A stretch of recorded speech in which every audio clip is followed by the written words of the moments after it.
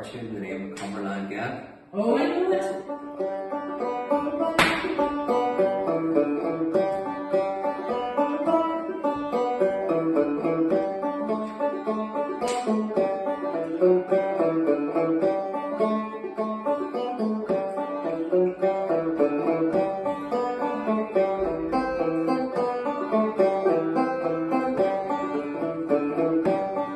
Thank you.